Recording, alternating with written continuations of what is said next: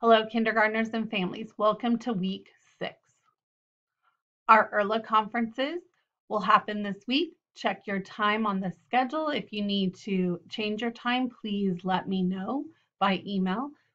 Monday is our SEL Zoom at 10 o'clock. And then following that is our family support. Um, if you have any questions or anything, please come and um, ask questions. Tuesday is our ELA Social Studies Zoom at 10 or 1. Pick the time that works best for you. This week we are doing friendship, characters, and settings. Wednesday is our Walk Kids in person on campus at 10 a.m. Come join me. We have lots of fun. We usually do a craft and um, some other fun activities. Thursday is math, our, our math science Zoom at 10 or 1.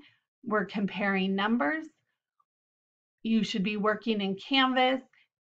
Module 6 is this week.